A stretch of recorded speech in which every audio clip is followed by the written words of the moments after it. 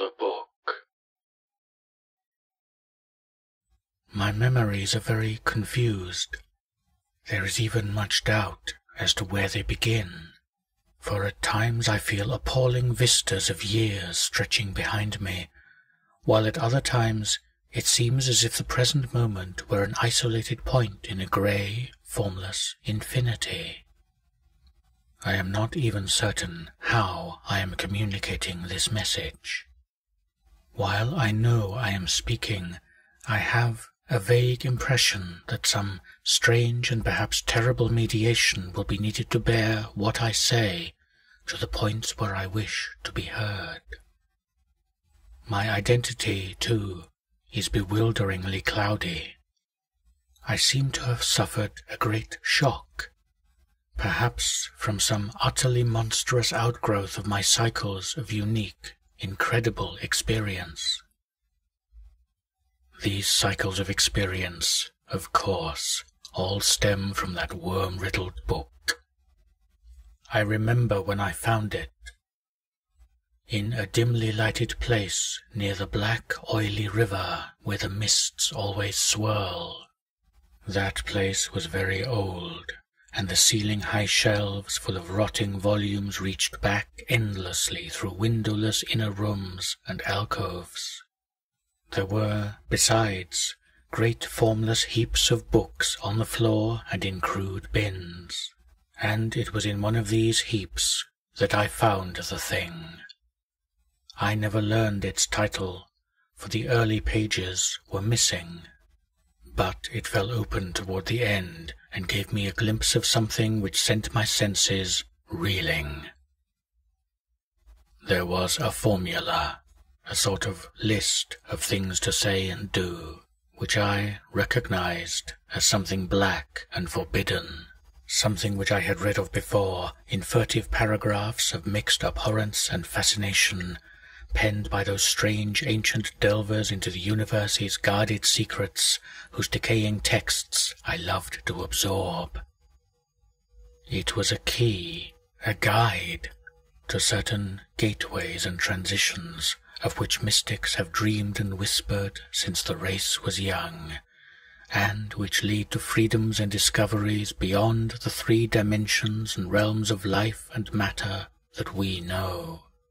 Not for centuries had any man recalled its vital substance or known where to find it, but this book was very old indeed. No printing press, but the hand of some half-crazed monk had traced these ominous Latin phrases in uncials of awesome antiquity. I remember how the old man leered and tittered, and made a curious sign with his hand when I bore it away. He had refused to take pay for it, and only long afterward did I guess why. As I hurried home through those narrow, winding, mist-choked waterfront streets, I had a frightful impression of being stealthily followed by softly padding feet. The centuried, tottering houses on both sides seemed alive with a fresh and morbid malignity, as if some hitherto closed channel of evil understanding had abruptly been opened. I felt that those walls and overhanging gables of mildewed brick and fungous plaster and timber, with fishy, eye-like, diamond-paned windows that leered, could hardly desist from advancing and crushing me. Yet I had read only the least fragment of that blasphemous rune before closing the book and bringing it away.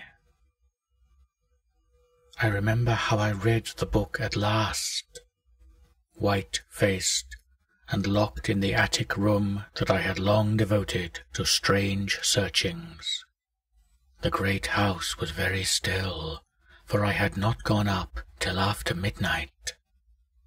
I think I had a family then, though the details are very uncertain, and I know there were many servants. Just what the year was, I cannot say for since then I have known many ages and dimensions, and have had all my notions of time dissolved and refashioned. It was by the light of candles that I read.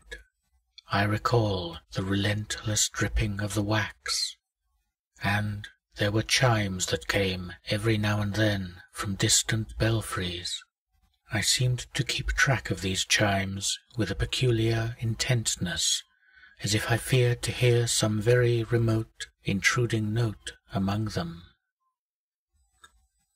Then came the first scratching and fumbling at the dormer window that looked out high above the other roofs of the city. It came as I droned aloud the ninth verse of that primal lay, and I knew amidst my shudders what it meant. For he who passes the gateways always wins a shadow, and never again can he be alone. I had evoked, and the book was indeed all I had suspected. That night I passed the gateway to a vortex of twisted time and vision, and when morning found me in the attic room, I saw in the walls and shelves and fittings that which I had never seen before nor could I ever after see the world as I had known it. Mixed with the present scene was always a little of the past and a little of the future, and every once familiar object loomed alien in the new perspective brought by my widened sight. From then on I walked in a fantastic dream of unknown and half-known shapes, and with each new gateway crossed, the less plainly could I recognize the things of the narrow sphere to which I had so long been bound. What I saw about me none else saw, and I grew doubly silent and aloof, lest I be thought mad. Dogs had a fear of me, for they felt the outside shadow which never left my side. But still I read more, in hidden, forgotten books and scrolls to which my new vision led me, and pushed through fresh gateways of space and being and life patterns toward the core of the unknown cosmos. I remember the night I made the five concentric circles of fire on the floor, and stood in the innermost one, chanting that monstrous litany the messenger from Tartary had brought. The walls melted away, and I was swept by a black wind through gulfs of fathomless grey, with the needle-like pinnacles of unknown mountains miles below me. After a while there was utter blackness, and then the light of myriad stars forming strange, alien constellations. Finally I saw a green-litten plain far below me, and discerned on it the twisted towers of a city built in no fashion I had ever known or read of or dreamed of. As I floated closer to that city, I saw a great square building of stone in an open space, and felt a hideous fear clutching at me. I screamed and struggled, and, after a blankness, was again in my attic room, sprawled flat over the five phosphorescent circles on the floor. In that night's wandering there was no more of strangeness than in many a former night's wandering. But there was more of terror, because I knew I was closer to those outside gulfs and worlds than I had ever been before. Thereafter I was more cautious with my incantations, for I had no wish to be cut off from my body and from the earth in unknown abysses whence I could never return.